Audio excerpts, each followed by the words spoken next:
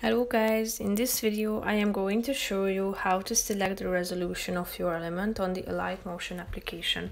But first, I just want to mention, don't forget to subscribe to my channel, because at 10,000 subscribers I am going to show you my whole YouTube revenue statistics and growth strategy, how to make money online.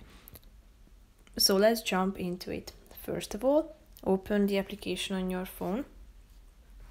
Tap on the uh, either the projects or elements icon and select uh, one of your items.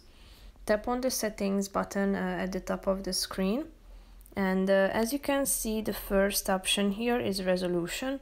Here you have a bunch of options you can create, uh, you can uh, um, choose from so tap on the relevant one and as you can see in the background it is changing so if you go back, you will be able to see that the uh, resolution of your element has been uh, changed. So feel free to uh, come back to this uh, section anytime if you want to edit it. So that's pretty much it for this video guys. I hope you found it helpful. If you did, consider subscribing and see you in the next video. Bye bye.